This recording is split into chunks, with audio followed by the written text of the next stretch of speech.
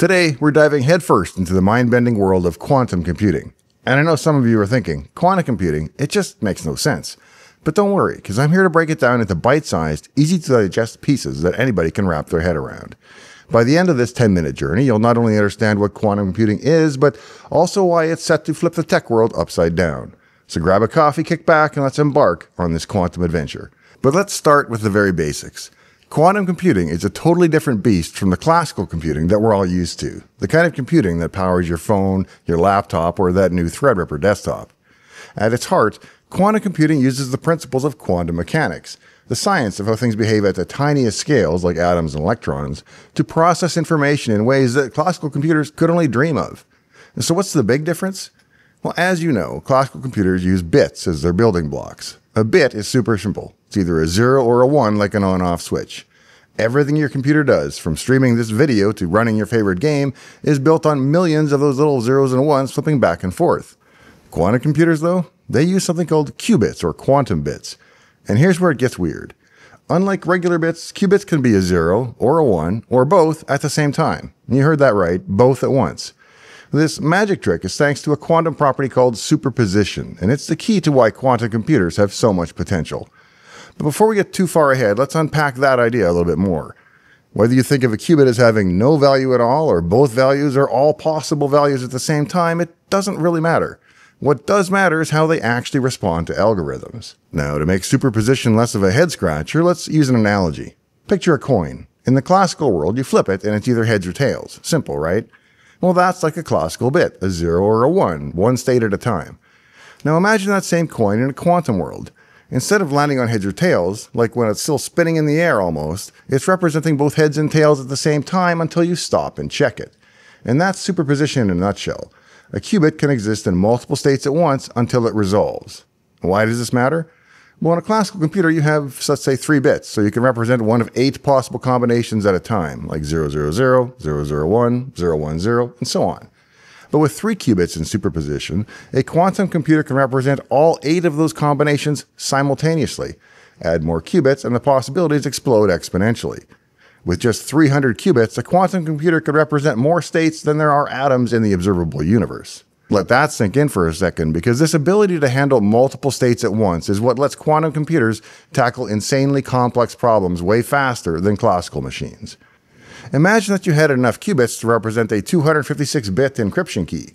Theoretically, since the qubits can represent all possible states and combinations at the same time, it's only a matter of selecting the ones that resolve the decryption key. Superposition allows a quantum computer to process all possible keys simultaneously, but there's still a catch. When you measure the qubits, the superposition collapses to a single state, one key, with probability proportional to its amplitude squared. In a uniform superposition, each key has an equal chance of being measured, so a single measurement is really no better than a random guess, which would be equivalent to classically brute forcing a key one at a time. To deduce the correct key, you need a quantum algorithm that amplifies the amplitude of the correct key's state, or otherwise exploits quantum properties to somehow identify it efficiently. Because without going too deep into the weeds, the most common algorithm is one known as Grover's algorithm, and the basic idea is to iteratively apply a series of quantum operations that enhance the probability of measuring the correct key.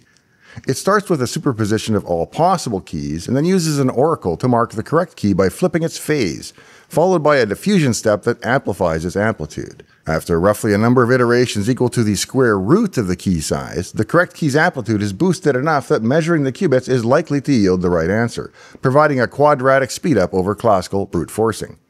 But superposition is just one piece of the puzzle. There's another quantum trick up the sleeve that takes things to the next level entanglement. Okay, entanglement is where it starts to feel a little bit like science fiction. When two qubits become entangled, they're linked in a way that's almost spooky.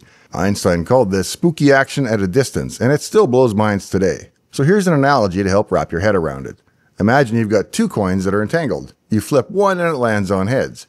Instantly, the other coin, whether it's across the room or across the galaxy, lands on heads too.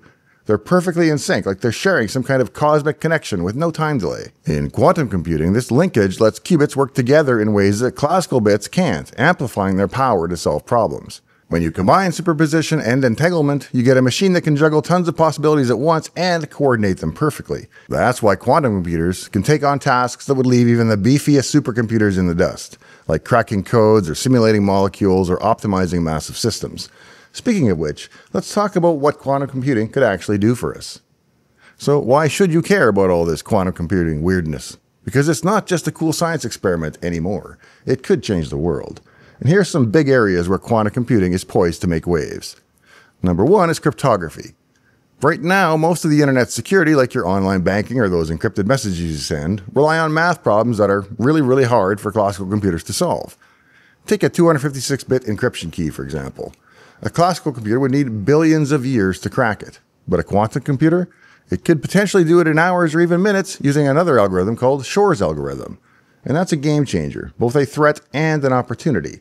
It means we'll need new quantum resistant encryption methods soon, and quantum tech could help us build them. We could also save lives faster because in medicine, creating new drugs is a slow, expensive process. And a big part of that is simulating how actual molecules interact something classical computers struggle with because these calculations are so complex. Quantum computers could possibly zoom through these simulations, modeling molecules down to the atomic level.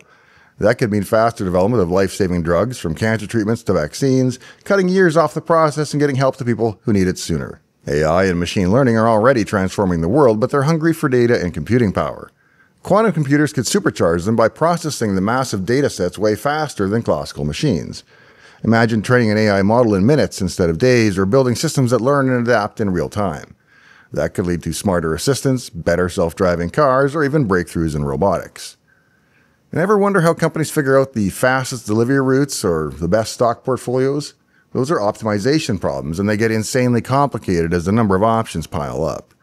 Classical computers have to grind through possibilities one by one, but quantum computers can explore tons of them all at once. And that could mean more efficient supply chains, cheaper energy, or even helping scientists design better materials. And those are just the tips of the icebergs. Quantum computing could also tackle climate modeling, financial forecasting, and even fundamental physics questions that we haven't cracked yet. It's not just about doing things faster, it's also about doing things we couldn't do before. Now, before you start picturing a quantum PC on your desk, let's pump the brakes a bit. Quantum computing is still very much in its early days, like in the vacuum tube or maybe even relay era of classical computing. We've got a long way to go before it's ready for prime time, but the progress is very exciting. Big players like IBM, Google, and Microsoft are pouring billions into quantum research. Back in 2019, Google made headlines when their Sycamore processor achieved quantum supremacy. It solved a super specific problem in 200 seconds that would have taken a classical computer 10,000 years. IBM's got their quantum experience letting developers tinker with qubits in the cloud. And startups like Rigetti and D-Wave are pushing the boundaries too, but there are some big challenges holding us back. Qubit stability is one. Qubits are fussy little things. They need to be kept at temperatures colder than outer space, like minus 460 Fahrenheit, which is about 275 below Celsius.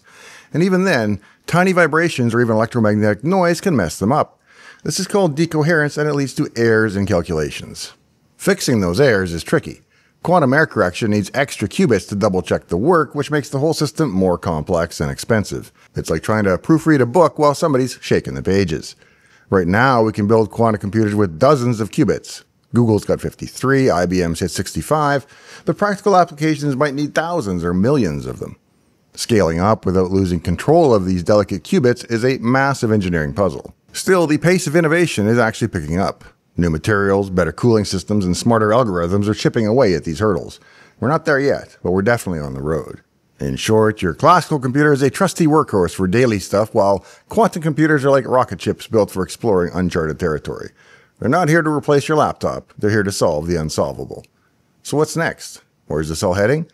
Well, the experts reckon we're maybe a decade away from quantum computers hitting the mainstream. Think 2030s or so. When that happens, industries like healthcare, finance, and security could look totally different. Imagine drugs designed in months instead of years, or AI that's way smarter than anything we've seen yet. But it's not just about practical stuff. Quantum computing could help us crack the big mysteries like how the universe works at its deepest levels or how to build the perfect climate models. It's the kind of tech that doesn't just improve what we have, it opens doors that we didn't even know existed. So there you have it. We've covered the basics qubits, superposition, entanglement, and why it matters. It's a wild, fascinating field that's going to shake up the world, and we're just getting started. If you enjoyed this episode, don't forget that I'm mostly in this for the subs and likes, so I'd be honored if you consider subscribing to the channel and leaving a like on the video before you go today. If you've got questions, drop them in the comments. I do love hearing from you. I read them all, and we answer the best ones every Friday on Shop Talk. Check it out at the link in the video description. In the meantime and in between time, hope to see you next time, right here in Dave's Garage.